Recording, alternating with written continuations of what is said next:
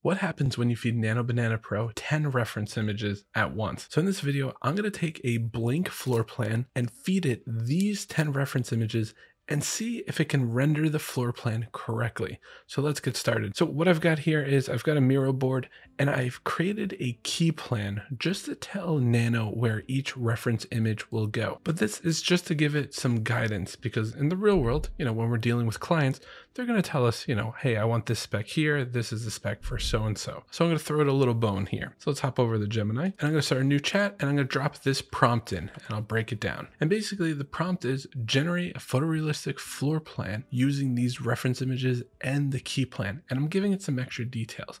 And I'm also giving it some constraints saying, hey, I don't want you to change anything related to this floor plan. So let's see if it listens. I'm going to drag in my references. Do note it can only support 10 files at the same time. So that's what that little warning was. But you can see we've got our accent chairs, the floor plan, the study, master bedroom, the key, master bathroom, mudroom, powder room. And this one, I'm to throw a little curveball in there because this is much bigger than the powder room that I've got there, a sofa, and the stool reference.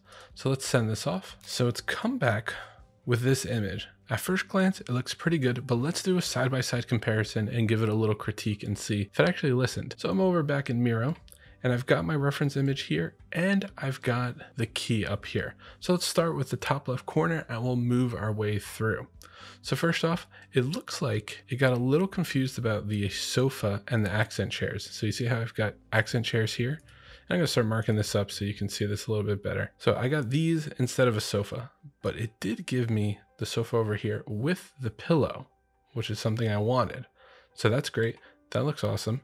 And it did give me the correct accent chairs.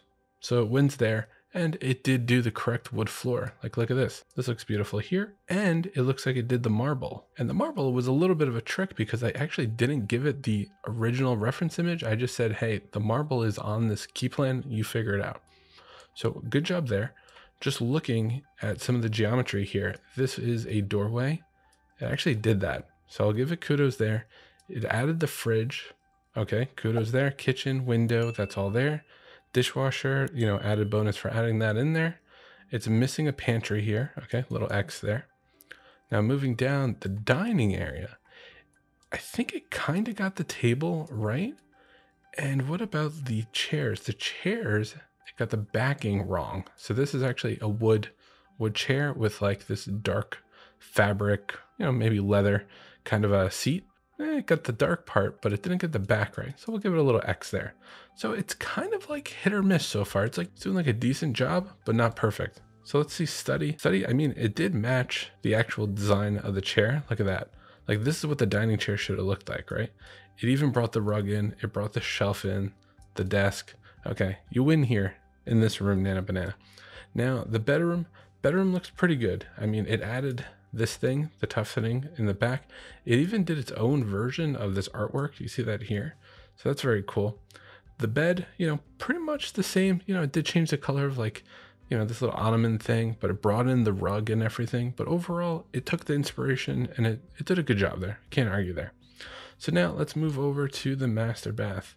Master bath seems like it got a little, little creative. It added a bathtub here. That's no good. This is a shower, right? Turned this closet into a shower, so no go there. But it did a good job with the, the vanity here, and it did add a shower head here. It definitely got a little confused, and I kind of did this on purpose because I wanted to give it some extra detail, like there is no bathtub in this bathroom, right? But I wanted to see if it was smart enough to know, okay, he's showing me the tile, the vanity, and the shower, not the bathtub. So it did get a little confused there. So walk-in closet, I gave no info there, but it read the room name. It did a phenomenal job actually. Then moving over here, our powder room completely obliterated. If you can't see that, it's like this this view facing us so it would basically be like the floor so the vanity is on the floor like a pretty trippy uh, room layout if you ask me um, yeah this is this is wrong but this was also another little test to see if it would be able to shrink this vanity to fit right here. Eh, didn't do a good job. So give that a big X.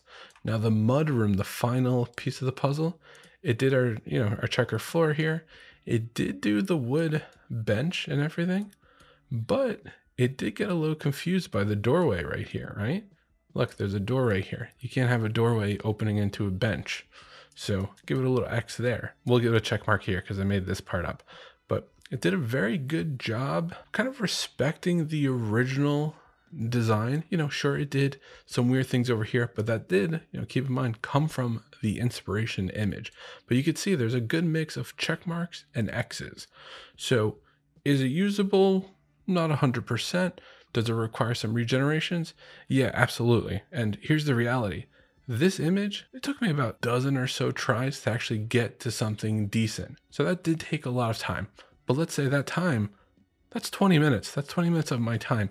If I had to 3D model this and do it from scratch, I mean, we're talking 10 hours plus for all of this. So yeah, is it a pain in the butt that it got some things wrong and you got to keep, you know, doing your slot machine and seeing what's going to come out? Yes, but 20 minutes, half an hour versus you know, 10 plus hours. I mean, there's a huge time savings there.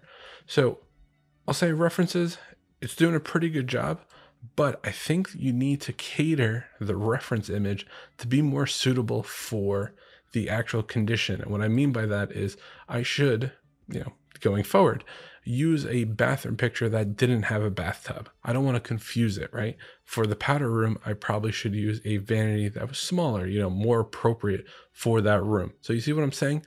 Make sure your reference images make sense for that space. Don't expect it to, you know, understand exactly what you're talking about. And I didn't give it the longest prompt ever. You know, I give it a, a decent prompt, but it did, you know, overall understand the idea of what I wanted and you know, I can't really can't really argue with that. I mean, if we were to just do one last comparison, just look at all the windows. The windows are all pretty much in the same spot. Look at that. All the pairings in the front. That's all there. So it did, for the most part, do everything I wanted, um, and then some.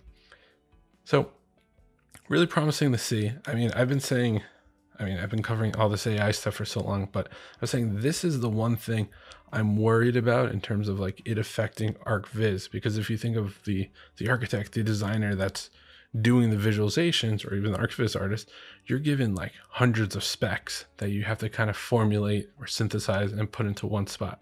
But now with every single version of Nano Banana, you know, Pro 10, whatever, in a couple years, how many references is it going to support? A thousand? So that's where I think it can get a little scary where, you know, ArchViz could be impacted a lot more by AI. It's good to be on top of these tools. So anyways, if you have questions about this, let me know in the comments. I'll get back to you. And as always, please consider liking and subscribing. See you next time.